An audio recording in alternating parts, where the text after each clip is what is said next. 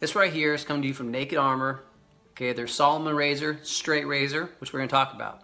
Okay, straight razors. Been around for a long time.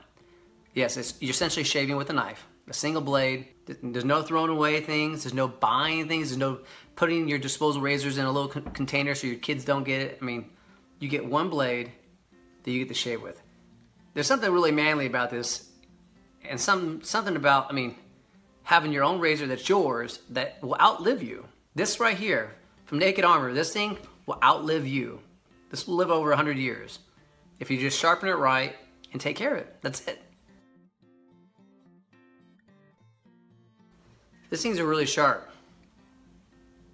You gotta be really careful when you're doing this stuff. Okay?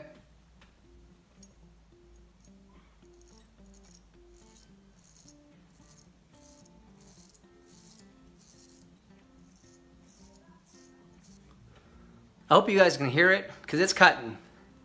Now, oh, there's something about this, I tell you. This thing is beautiful. I mean, look at the wood. Look at that stainless steel. I mean, it is gorgeous.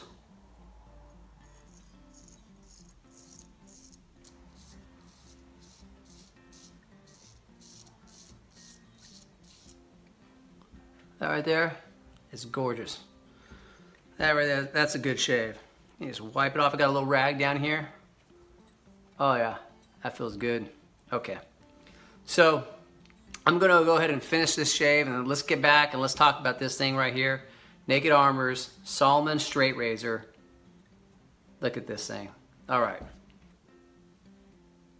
I think you know what you need to do. Go ahead and buy one.